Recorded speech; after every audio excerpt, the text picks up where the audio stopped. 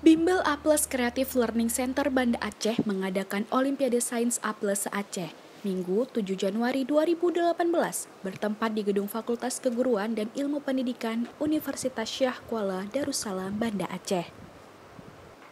Olimpiade ini bertujuan untuk meningkatkan kemampuan peserta siswa SMA atau MA se-Aceh, serta menanamkan kepercayaan diri pada siswa untuk berani mencoba dan tidak takut gagal.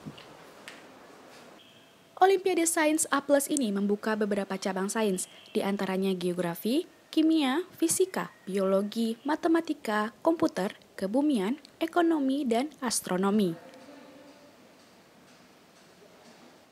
Um, tujuan saya ikut sini adalah mau melatih ilmu pengetahuan saya, ilmu pengetahuan saya dan juga wawasan saya, dan juga salah satunya untuk mendapatkan sertifikat untuk mudah memasuki kuliah atau semacamnya harapan acara ini uh, semoga uh, adik-adik uh, jangan patah menyerah walaupun soalnya susah tapi itu menjadi hal yang positif untuk kita.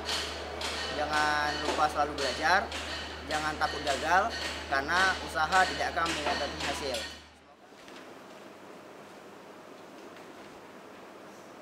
Pada awalnya, peserta akan mengikuti babak penyisihan yang diadakan pada tanggal 7 Januari 2018 di beberapa kabupaten di Aceh. Kemudian, peserta yang lulus akan menjalani bimbingan pada tanggal 16 sampai 20 Januari 2018 dan akan berakhir pada final di tanggal 21 Januari 2018. Tim Liputan, Farah Aulia Putri, Novita Sari Saputri melaporkan untuk Detak TV.